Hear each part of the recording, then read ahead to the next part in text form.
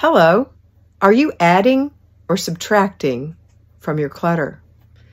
Because if you're adding, then you're getting further and further behind. If you're subtracting, you're getting further and further ahead. It doesn't have to happen all at once when you're subtracting. A little bit every time makes a difference. The dripping of water wears away stone. But if you're adding, it seems like it creates a magnetic force that draws more clutter to it.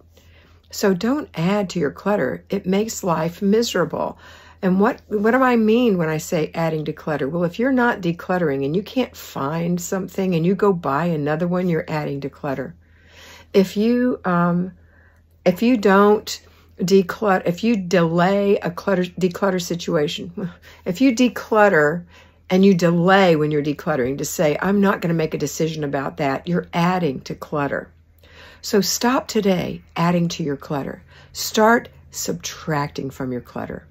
Make it a great day.